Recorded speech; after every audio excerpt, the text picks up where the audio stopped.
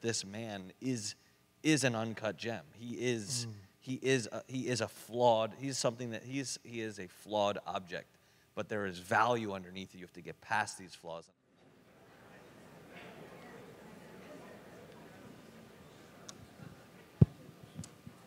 Good evening, everyone. Please join me in welcoming Josh and Benny Safdie.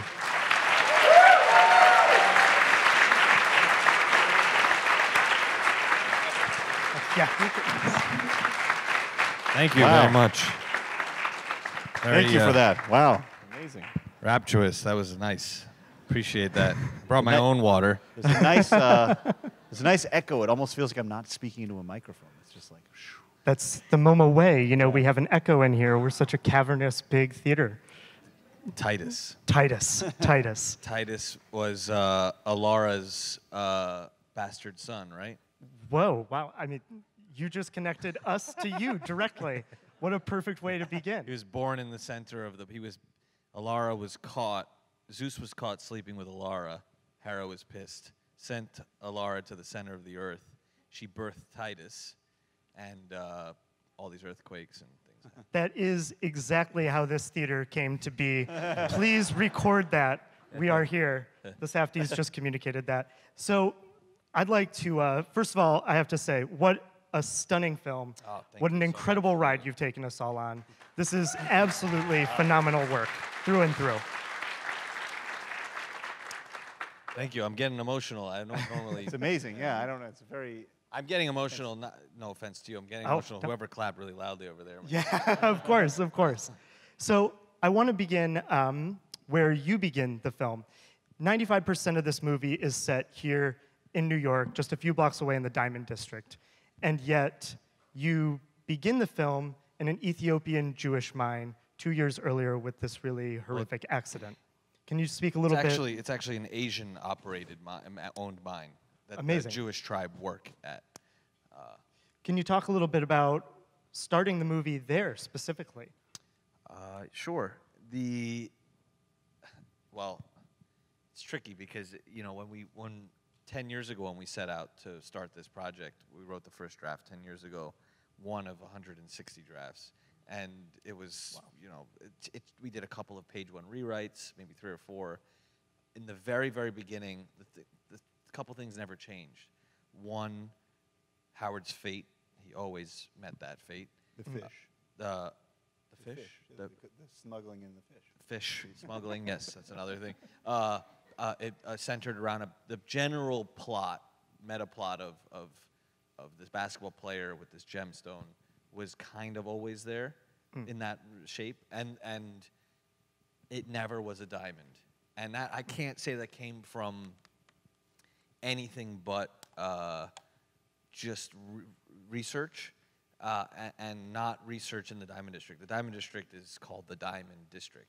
Uh, I, I- for some reason, I never was interested in the diamond in, in the film revolving around a diamond. The cla- I like colored stones. I, I, uh, I don't the the clarity of diamonds, the myth of it. You have to get into the whole De Beers myth and the PR stunting and all that stuff. I wasn't that interested in it. And when I started looking into colored stones, I stumbled on this thing called the sci-fi diamond, which is a black opal in particular, or opal in general.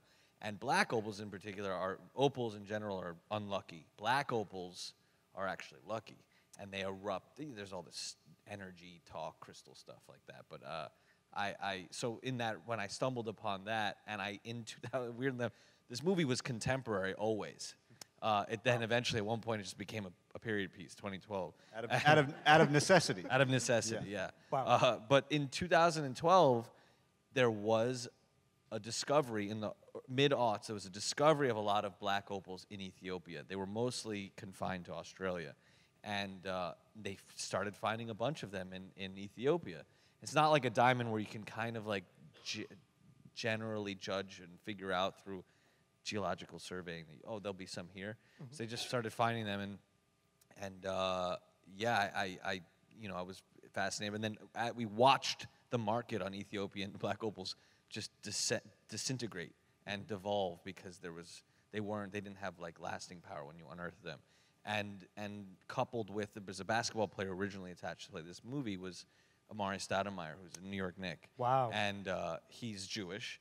and the there's a huge contingency of Beta Israelites in Ethiopia that I was reading about. That, that Amari was kind of he mentioned to me a few times about. So there was a lot of cross uh, pollination happening there. But but it was yeah. I mean, it, again, it was research and being fascinated with, and also the gem is called the, the gambler's gem. Opals are considered gambler's it's- gems. The difference, I- the main difference between diamonds and opals is there's there is a weird inherent value to an opal that exists, whereas diamonds you can cut them in certain ways and kind of get around it. Mm-hmm. But also there's the, the fact that the problems that exist in Ethiopia are so like in, they're so intense, and then yet you always say like on the other side of the world there's an equally intense problem for somebody else that has no bearing in the same way. There's some guy worried about his leg and dying, and then here's somebody worrying about a free throw. Oh yeah, the cosmic, the cosmic nature of it, the course. connectivity of, like yeah, Benny was saying, a worry in a microsecond about someone's life is yeah. And also it's just- it's and then to- the other side is just some, to see- is some jeweler worried about a basketball player hitting a free throw. and then it's but just- they're both yeah. life or death worries. You know what I mean? And just to see, like, when they look at that stone, what they see. What Kevin looks at that stone and what he sees. And then when Howard looks at the stone and what he feels, you know, he doesn't necessarily see the same things. There's a really cool photographer uh, from in mid-century photographer named Gubelin, Ed, Edward Gubelin, and he was the first person to do microphotography, getting inside gemstones and photographing them. And then someone in a yard sale in LA, a guy named Danny Sanchez, found one of his books, and then said, "Oh, I want to do that too." And started photographing the interior of black opals and opals in general, and and those were very inspiring for developing our journey through the gem. But but both of them were very interested in seeing the macro in the micro, uh, and and you know, go on and on there. So that's, I think that's a perfect segue. Your journey through the gem, this comes up a few times in the film. And uh, you allow yourself to break sort of this frenetic, hyper realistic world that you've constructed to go into something that is purely experiential, to literally go into the stone and into the body at multiple times. How did you decide where and how often it's appropriate to break that, to essentially, you know, divide the cinematic construct? Well, it's it's it, that was a moment. Like even the music, when the music plays, is, is a specific thing. You know, the vibrations of the stone. When Howard first gets it, he feels it.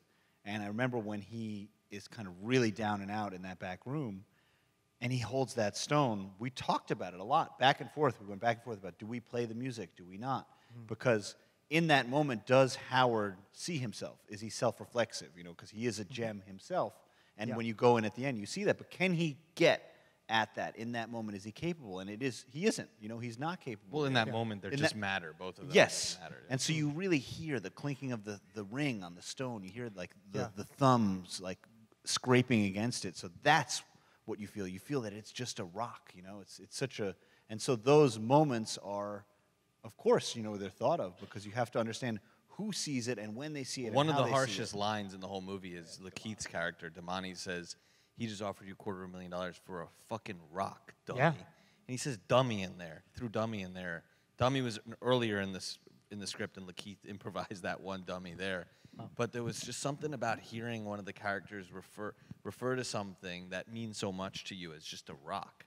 And uh, The other time that happens is Wayne at the end when he's like, Oh, no, so yeah, so he missed a shot. Who cares? Wayne is the high You know, the like- high roller Yeah. dude who It's like, very of- tanned. That was that's literally the entire basis of the movie is if he misses or makes a shot. And Yeah, I love that. just I love that cares?" line. Yes, yeah, because it's all subjective uh, and, and relative. But but but the there's a new age quality to this movie. I know that it's has a frenetic pace uh, to it, but there's you know the, the inspiration of the score was n- originally new age music, and uh, the medicinal quality of music, and and uh, wh- what it means to to kind of be uh, uh, agitated or erupted by music, and and uh, the the interior of the gemstone really was akin to to that. It was uh, these meditations through stuff. You know, this movie's a materialist movie. It's about materialism, and and uh, that that's materialism away from consumerism. It's material, actual material, and uh, you know, and and you know, the first the the first journey and the second journey are are really uh, almost literal in the sense that they're just letting you know that this man is is an uncut gem. He is he is a, he is a flawed. He's something that he's he is a flawed object, but there is value underneath it. You have to get past these flaws, and I think that. Um, you know what what what what's what's interesting for, for an audience point of view, and maybe you guys can disagree with me, uh, because I'm ultimately not the audience for this. I'm audience for my own titillation and things like that, but I'm not the audience for the movie. But it's you spend some people spend the, this movie, they spend the duration of the movie judging the character, mm, mm-hmm. judging him, p- passing judgment on him, and then eventually, you, he wins you over through his aspiration, through his uh, sheer drive and will, and and uh, his his upward striving, what, what have you. He eventually wins you over, even if you don't really agree with it. And then he's shot in the face. You know what I mean? And and you're forced in a weird way to judge your initial judgments, and you feel guilty for judging him because they were superficial. I mean, the the man is not a bad person. He might be doing bad things, but he's not a bad person ultimately. So, and I want to pick up on something you said in there about the material uh, aspect of the film as well as the music. So, Oneohtrix Point Never, Dan Lopatin did the music for this film. I know he was a frequent collaborator of Emeralds from Cleveland, ambient band, has track titles like Dripping Water Hollows Out a Stone, Hyper Dawn, Sleep Dealer, incredibly.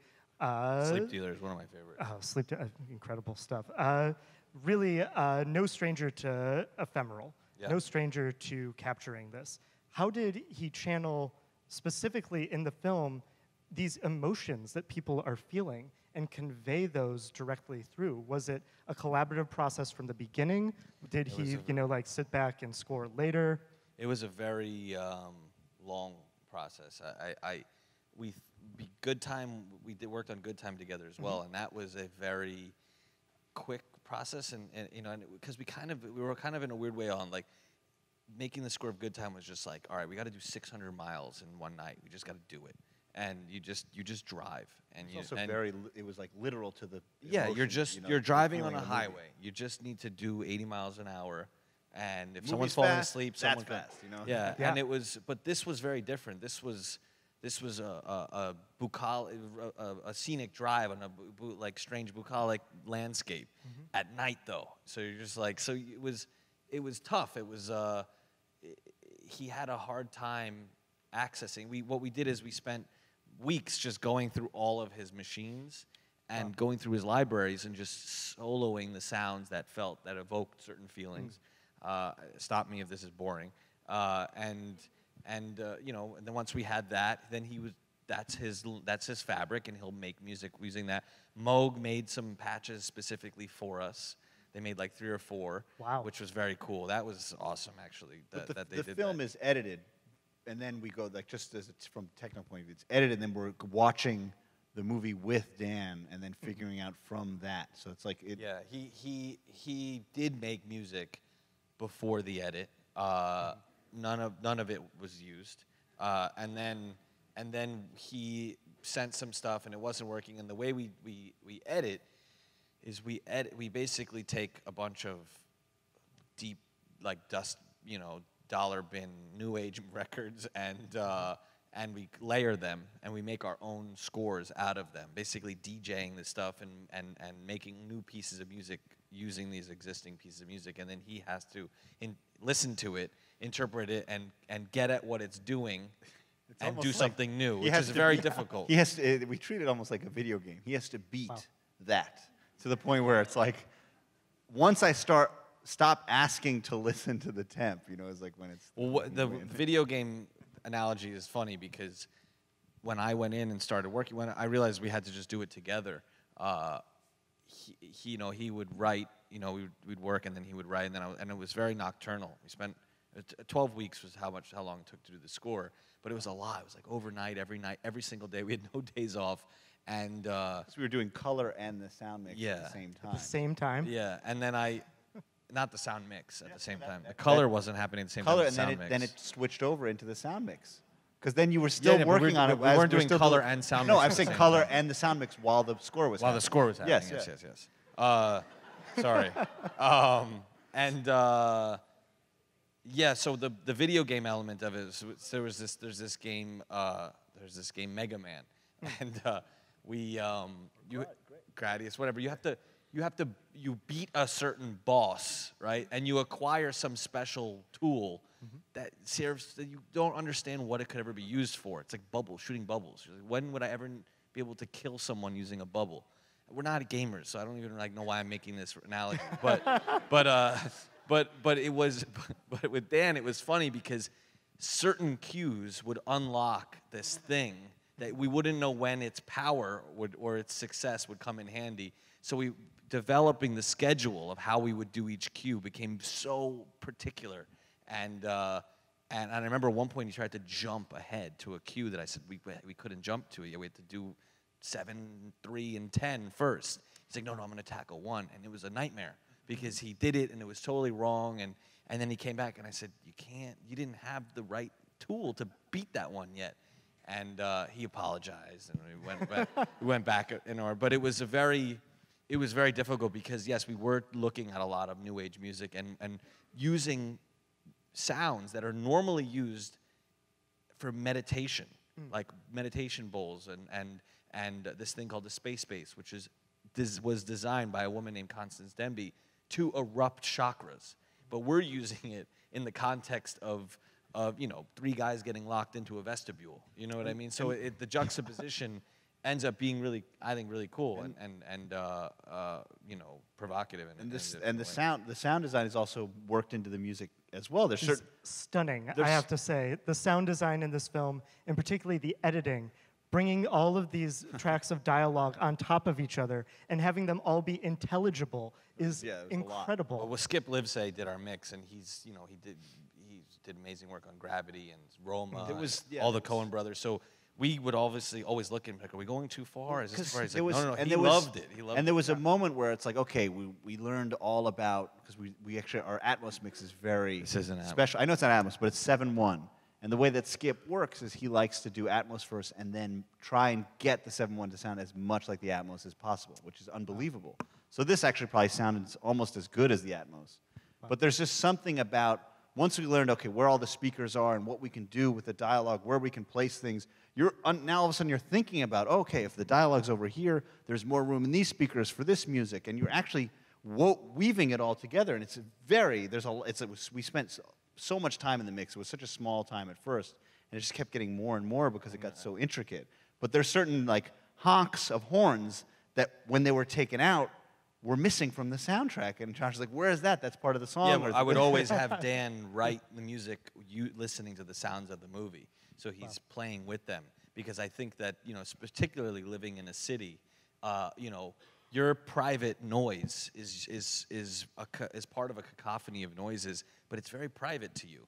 And that, and, but we wanted to try to, you know, at least sidle up alongside of what life feels like. because There's yeah, the, the fact that the just that that realism to get to that is so complicated. What actually goes into the noise on a street on like 50, 53rd? Like some of the streets we're I trying to recreate. They used Warren Shaw, who's our sound designer and editor.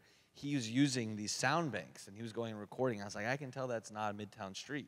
And he's like, There's like- what do you mean? I was like, what street was that recorded on? He opens up the file and he goes, yeah, this is 13th Street. I was like, Well, I because it's I like can tell. you- I, I can tell. you- so like- then we go back with our mic. yeah, we and I go, we go and re-record record. You, you hear that okay? There's not there's not um, power tools being used on this construction site because it's it's in a business, like there's a business in there. So you a lot of hammering of the scaffoldings going down. You hear there's a baby crying. You hear oh we're close at by Howard's apartment. We're close to the FDR. We need to hear that whirring in the background at all times. So you're thinking there's a, about all There's this. a great story about, from McCabe and Mrs. Miller. Uh, Altman, I was at the premiere, greatest. sitting next to Warren Beatty. Yeah. And uh, Warren Beatty turned to him 20 minutes into the movie and he said, "Does the whole movie sound like this?" We we actually we actually included a couple of those uh, buzzes in the movie. as not well. really the the text phones because Yeah. it's like that happens and you got to Well, keep it. So Warren Beatty turns to me and says, "Does the whole movie sound like this?" And and Altman turns him with a huge smile and goes, "Yeah, isn't that awesome?" And Warren Beatty's like, "Oh fuck, I can't deal with this." Uh, but because because Altman was really pushing, he was really pushing the envelope. You know, in the player, what he did in the player is unbelievable, and, and It's with still the was, microphones. We even were like we, we were trying to get to that level on this, and it's still difficult. Well, what we did particularly, every scene that took place in his office, in the showroom, in the hallway, elevator, that was all on our stage in Long Island. So we became really, really you know, uh, to the production designer, we couldn't, we didn't move any of the, all the furniture became immovable. Mm. And our DP Darius is used to, you know, who's incredible, but he he's used to be able to move things around. You have a little hole, we have a cameras giant, in. This, we're on this giant stage, and yet we're stuck to this but stage. like but this the- but there's I, I didn't I didn't like I don't like that idea. I don't like that luxury. If you can't move something, you if you can't move it in real life, you wouldn't be able to move it for the movie. it, it so that informs a helps. realism to the cinematography. It imposes it. It imposes it. And uh, our production did make a mistake. We were supposed to have a little bit more room for a dolly, but he didn't. Uh, but but but when we went and started to do the sound design, you know, then Benny and I are going back to the Diamond District and recording all these. And we walked through this one space, and Benny kept the mic rolling by accident. It wasn't And- by accident. Oh, it was- wasn't yeah, by it was accident. so it was on purpose. uh, I wanted to get his voice. I wa- the reason was I was trying to get his the guy's voice through the wall as we were going through. But what we accidentally recorded was this high pitched tone that alerts you that the front door is open. And, and when we were going through the, the sounds, I was like, what is that high pitched sound? And Warren's like, oh, oh, oh, I was like, I know what that's, that's to alert. So then when we dropped that in, all of a sudden it's like, everything just all of a sudden clicks and feels alive and you can see, it's, it's great. We included, I remember when we sent Scott Rudin who is one of, who's the producer who got involved three years ago, who really pushed us in an incredible way. Mm-hmm.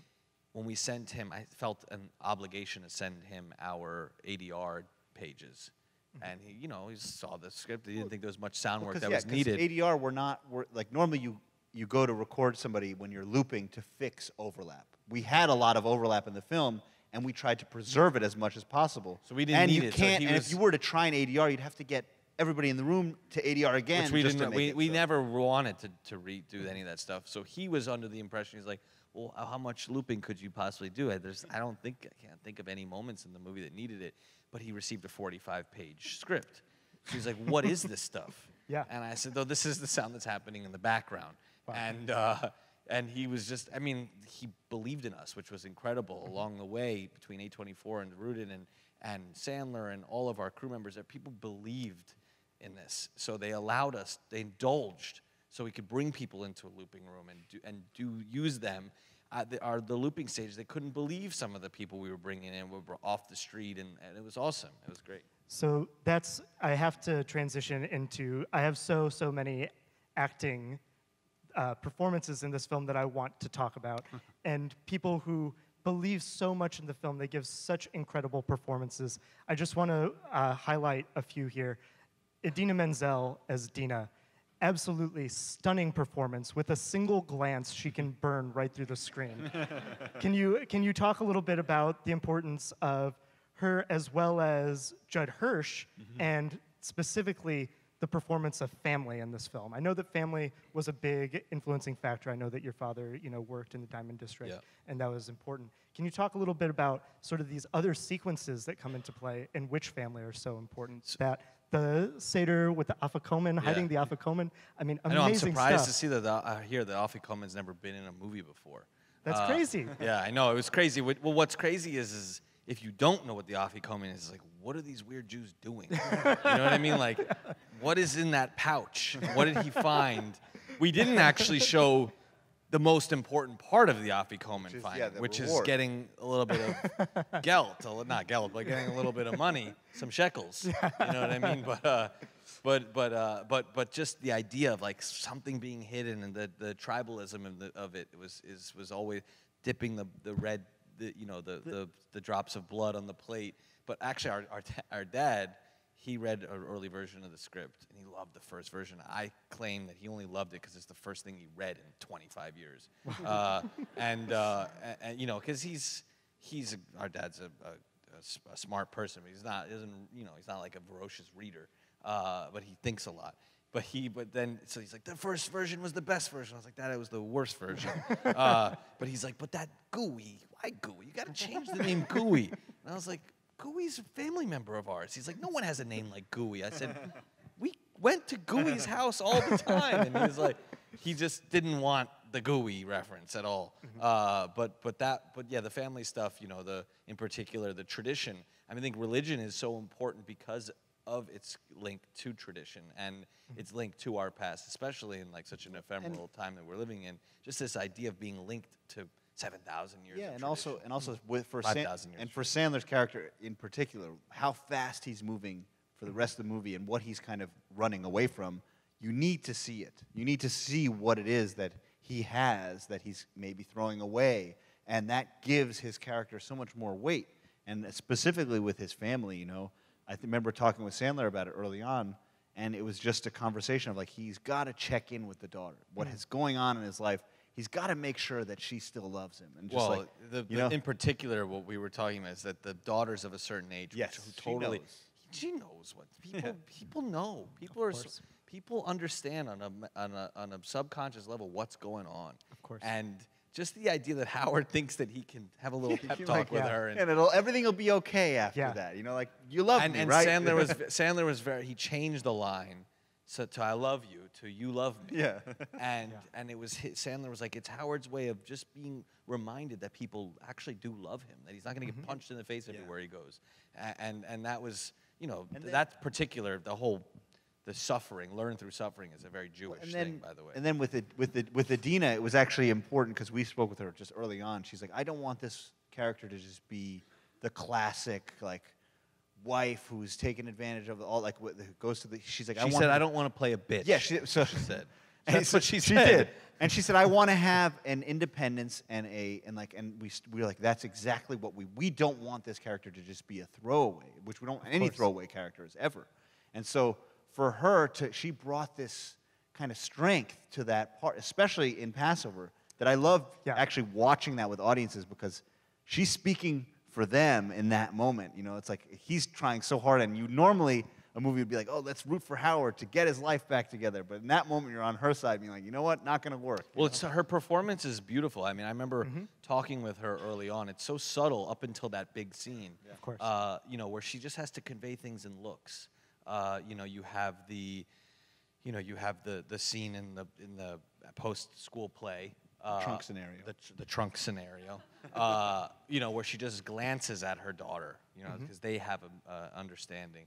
Uh, she, you have the, you know, you have the look that she gives him earlier on when he when she just when she you just know that what she has to put up with when she comes down she's like can you just go and put him to bed and all he wants to do is wait for a timeout you know what i mean and, and so she had that was tough and there was a scene that we cut out of the movie that was early on in the first act that she was in that she was great great in it she had all these subtle scenes and then she has this big scene opposite sandler and and uh, the two of them had an incredible uh, rapport. They really, they really did. The, it was like a, it was like an understanding the way an old couple has an understanding. well, you could feel a love existed at one point. You know, that's what makes it Absolutely. so important. Is that it isn't just hatred, and that's yeah. And uh, And then Ju- Judd Hirsch, so I could say we met with Oh him my in God. A 2011. legend. That's My- incredible. My outgoing voicemail. I'll play it for you. See if I can. He goes, "Why did we meet back then?" We're like, ah, "We just wanted to meet." You know, like, what was I going to do in the movie? We didn't know Let's see. But- Let's see if it lets me do it.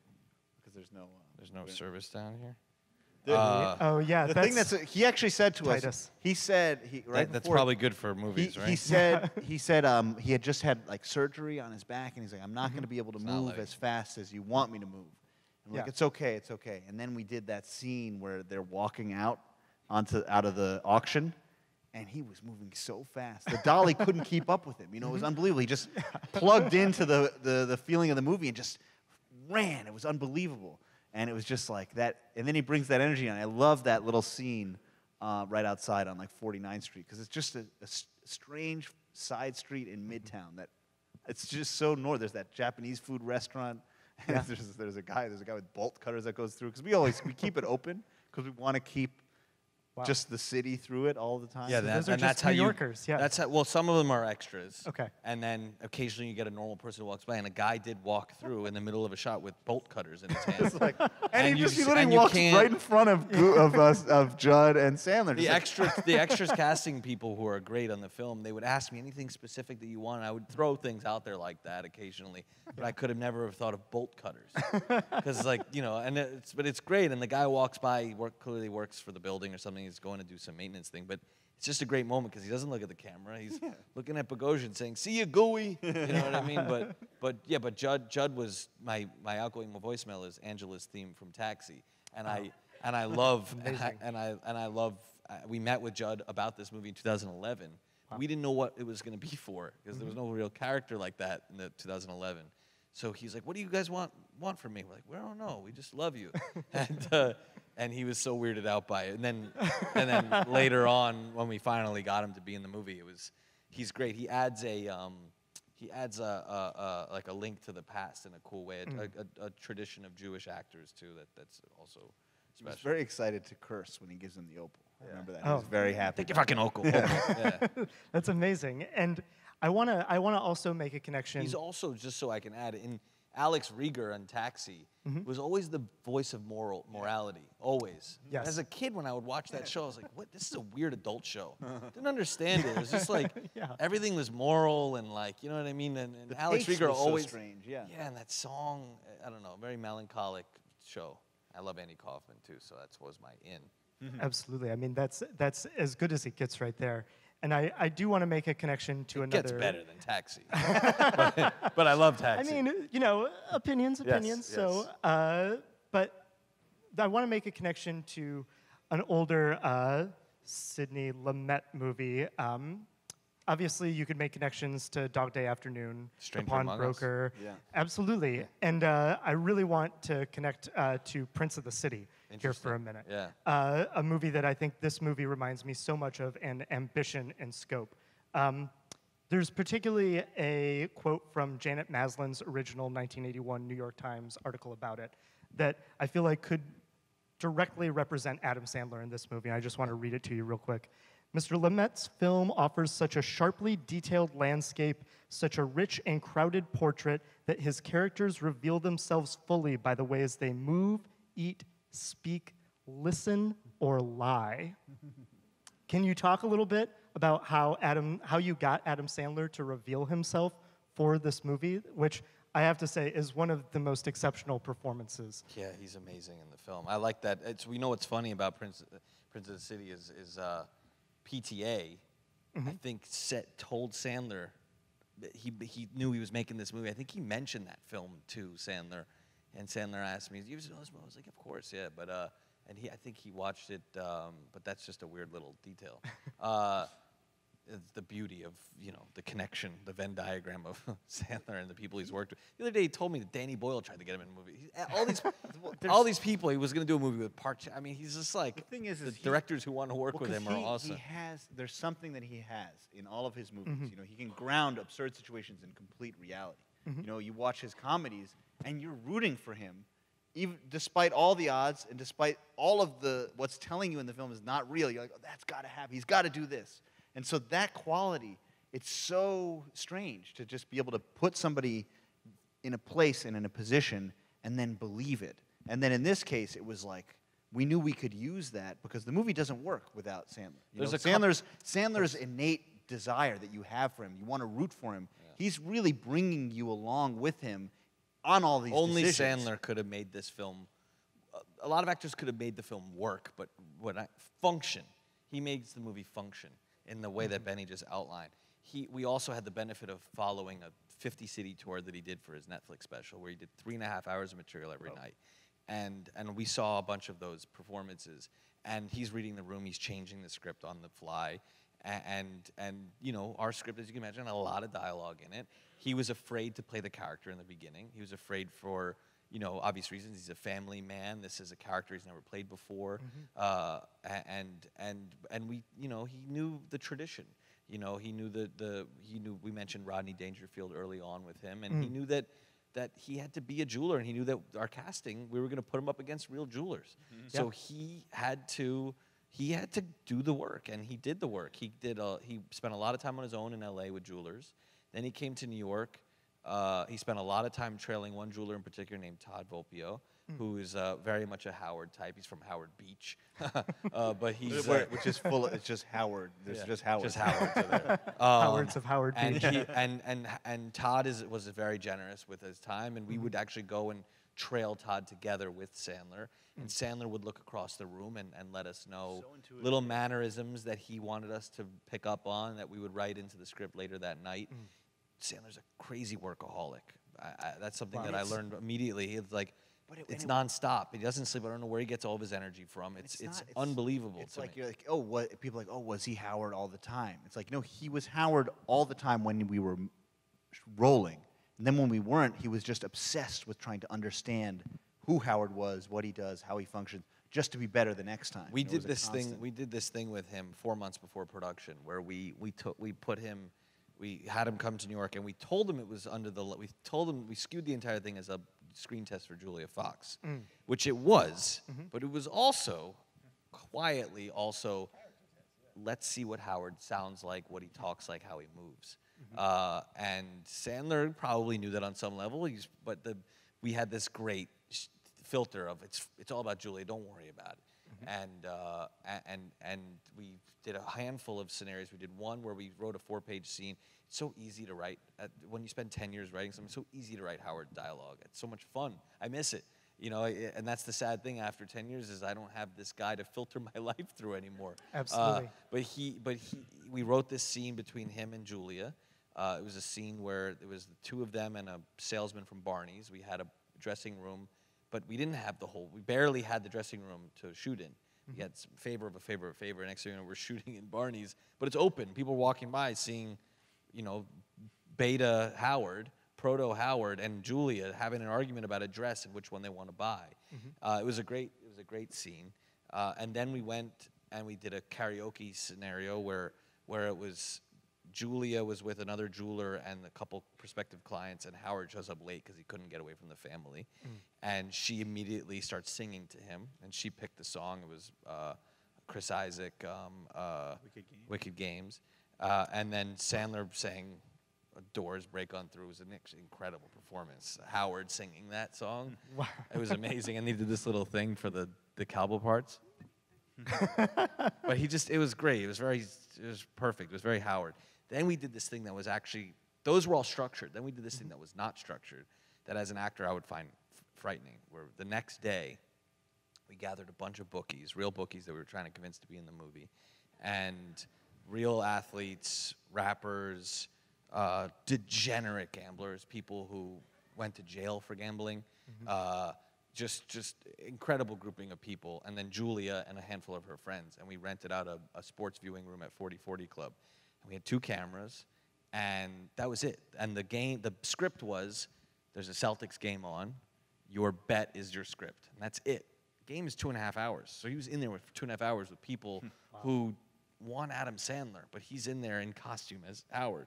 So he's trying to give them enough Sandler so that he can get their characters to, in a weird way, sponge up. And, hmm. and that when I saw him fall into that, I, you know, I just knew that he was going to always have the spine of the character and always be able to build off of it. and it then was special. And then the way we'd we'd shoot on like just on this just use the stage as an example. We would have like the cameras are usually far away with long lenses, and we were moving so fast that Sandler would just kind of he's like I can't I don't know what lens they're shooting on, so I don't know if this is my close up or my wide shot. I'm just gonna just have to be as if it's my close up all the time. And that's what it was for everybody. And but Sandler also we didn't have playback, so he couldn't go and watch the performance. So there was this constant moving forward that he just totally embraced. Which is and- the character, yeah. too. Of course. And I have to ask while we're here, uh, KG, Oh yeah. Kevin Garnett. how did you get him on board? Was it, he gives such an incredible naturalistic performance. Mm-hmm. Yeah. It is so, so, it seems so fluid. Mm-hmm. Was he able to immediately embody that role? Did Yeah. he need some guidance? Was it just I mean, yeah, everything needs. i i the guidance started the second. You, most of the time with any first timer, it's the the first moment. Either you or the casting person stops them is when the direction begins. Because if you start on the wrong foot, it just sets the entire thing. Uh, uh, in a, uh, all No, down the but they're not going to be comfortable with you. Yeah. You know that's So our casting team usually are very sensitive, and they know, and they're. But, but to be honest, it's not like sensitive implies that it's a decision for them to be sensitive. No, that's in their intuition. It's just they love the people they're stopping, and that love, I think, naturally induces a certain sort of confidence. But um, but but yeah, K, KG, you know, he has said this many times that he likens professional, being a professional athlete, to being an, uh, an actor. He thinks they're very similar. Uh, he thinks that there's a the preparation that goes in. Uh, he called me coach at one point when we were on set. Whoa. Uh, and I said, "Did you just- Wow. so did you call me coach? He says, yeah, you're the coach. That's the playbook. This is the this is the game. Wow, And, uh, and and but that was he, and he was incredible at internalizing dialogue. Like he felt a lot of pressure when he, you know, that big scene with him where he confronts Howard. Of course, which I love that scene. That is such a remarkable scene. Thank you. We spent the most time writing it. We spent the most time editing it. We spent the least time shooting it. It was, and it was, and we did like 18 takes with Kevin. It was a Uh, lot. The, Uh, the, the edit of that was in, intense because it was. I remember Scott watched it. He's like, "Oh, this is the best scene in the movie because we need to do the entire thing over again." I'm like, "What do you mean?" Because it could be the best. It's just not there yet. I Well, like, he did say to me when we were writing it, he was like, "Seems to be the best scene in the movie." And I was like, "It's like you know, no, no easing in." She's like, "You just these big mandates. This has to be the best scene in the movie." And you're just like, "Oh." So you sit and spend, and it's tough because you don't want to be preachy. You don't mm-hmm. want to be like, "This is the meaning of But- the and film," but but yeah. you, but and you want to, you want to arrive at it naturally, mm-hmm. and you know through Sandler's performance, you'll get that, and you know through the nuance of someone playing themselves, you'll get at something that will avoid um, not pretension, but but overt plotting or or, or, or, or, uh, condescending dialogue, where you're just a, a writer writing it and saying you speak these lines. Uh, the pawnbroker scene is is a is a great scene, but it's a, it's very much a written monologue. But it's a great it's a great monologue. Yes. It's a different type of movie. course. Uh, but it but it is a but it's still great because that's the scene that you think about, and that's we knew that this had to be that scene in some way. And Kevin, in that scene in particular, knew how to make the ideas his own. You know, the words that he would use and how he would say it. And we were open to that. You know, he, we were comfortable how he would make those kind of transitions. And then in that scene in particular, when we wanted to shake it up and switch up a little bit of the beginning of how he came in, if he came in a little bit more angry, a little bit, he was so comfortable. Like normally, if you go in for a six-page scene and you get something like a curveball thrown at you, it's going to throw you off. He totally got it. I remember looking at Josh being like, "This is unbelievable. He's so in it right now that we can just be this subtle." on the, you know? can give him micro notes and he could work them in. He was very, he was, you know, he was, what he did was interesting. So Lakeith Stanfield, who's also unbelievable. in. Incredible. Yeah. Lakeith Stanfield, Yeah. I want to just pause too and say Lakeith Stanfield gives, in what would be any other film, like the dominating performance of any movie. It is astonishing. Very serious actor. Uh, you know, he was always, uh, actually, the, the Black Jew power Mm-hmm. line, he improvised uh, because he was reading. He's just finished playing, I think, playing Fred Hampton. Uh, Oh my God, So he was reading about Black Panthers Wow. in between, in between, like in his trailer, Yeah. and he brought that line, and it was such a smart. I mean, that's when you when you cast somebody, you cast intelligent people so Mm-hmm. that they can bring things like that to a scene, and and Wow. and I'm forever grateful to to to our performers because they he did that. And he loves that line too, and he's happy that we used it because he was worried when he did it that he was going too far out on a limb. but it's a great moment because he's shoving it back in Howard's face. It's like, you're gonna fetishize a black person being Jewish? How about I give you this? You know what I mean? So it's like, it, it was a great moment. But but um, what Lakeith does as an actor, as a performer, uh, uh, Sandler said he saw Dustin Hoffman do it, uh, which was um, he creates a he makes up a, a scenario, a scene that happens that precedes the action. And we don't say action or anything like that because we don't. uh, It's weird to be like it starts now. You know what I mean? And, and I also just feel self-conscious saying that, that word. Uh, but I he he like supposedly like Dustin Hoffman, he would improvise these scenes that happened before the action, and he would get them going, and he would do it every time when he was in the presence of KG. And KG is a very very fast learner. Uh, it's how why he's was a he's a very successful athlete. Uh, he he noticed that Lakeith was doing that, and and that it helped him. you and know? then Yeah. it was helping everybody. It was helping Kevin. It was helping everyone around him. So then when Lakeith stopped being in scenes with Kevin, Kevin started to do that.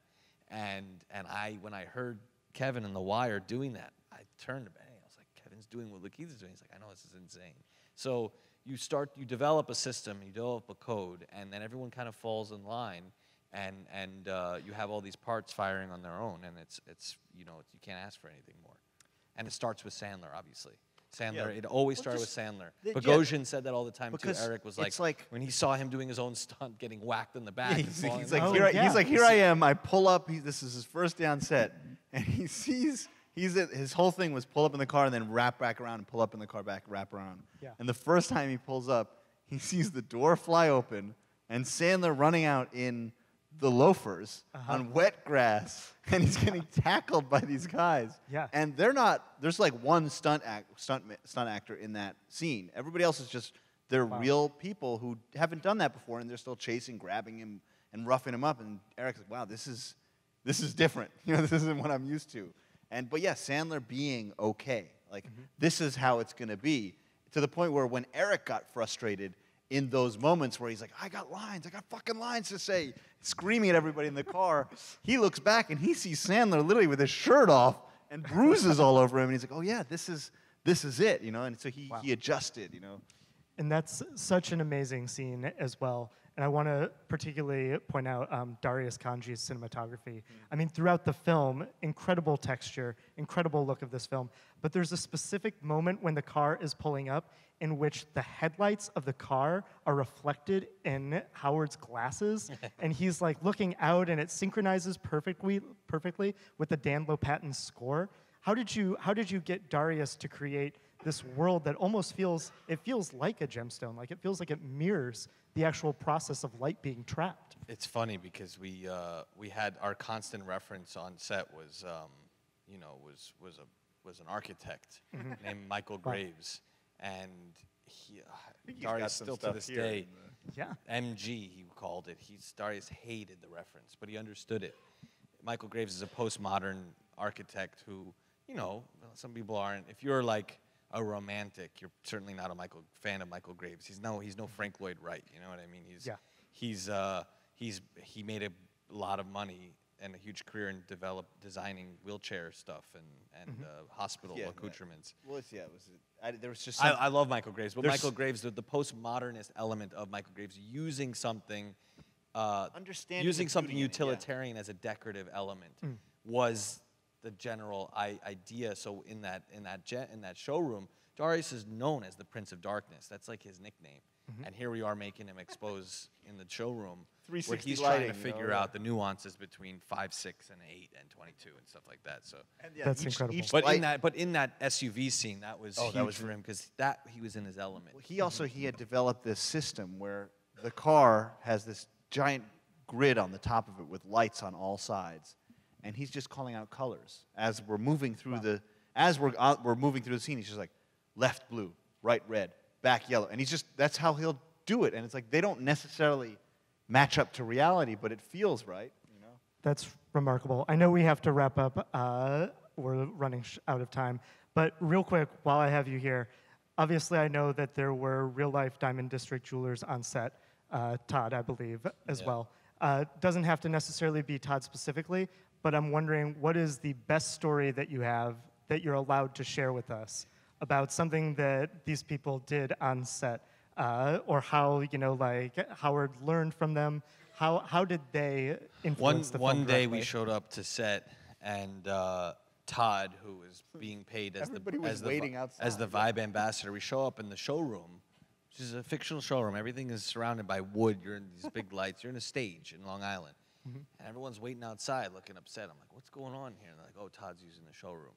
I said, "Todd's using the showroom. What are you talking about?" They go, "He said he needed a few minutes in the showroom." I was like, "What?" I was like, "No, we got a long day. We got to go. Let's go." And I don't, I don't, I just barge in, and Todd is in there, and he has an an, ol- an older female client in across the showroom from him, and he's showing her jewelry. And and I say to him, I said, Todd, what are you doing? He goes, Oh my God, the biggest, the greatest director of all time. You don't understand, Joshua Safdie. This guy understands actors. He tells me I've got it. I don't know, do I got it? He's such a showman, you know what I mean? And he's saying, Let me introduce you. you you're so. This is the next Steven Spielberg. He's telling this woman, Please shake his hand. Tell her, isn't she gorgeous? Like, really, I was like part of the sale and I see that she's he has she has this jewelry in front of him, and I'm just like Todd, we gotta we gotta shoot. Man. What- what's going? He's like, oh, just a second, just a second. She lives in she lives in Roslyn. I told her to come by, and uh, and I I said, is he looks at me, is Adam here? Is Adam here? I was like, Adam's coming right now. He's like, oh, you're gonna meet Adam Adam Sandler. He loves me.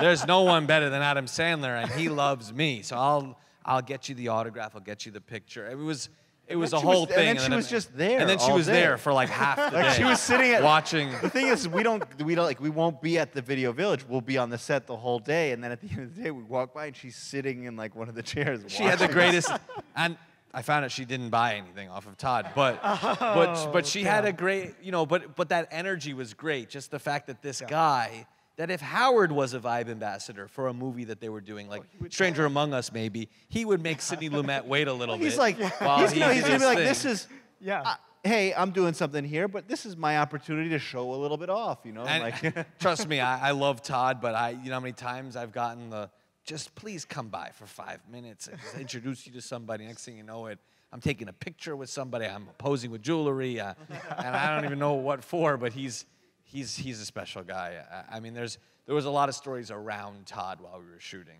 One included involved the Celtics ring, but we, that's a story for another time. Another time, we will certainly look forward to it. Josh and Benny Safdie, Thank you very so much. much. Thank you. Uncut Gems. Thank you. Amazing, amazing. and thanks for film. sticking around. Thank you for sticking around. Yes. Thank you to MoMA.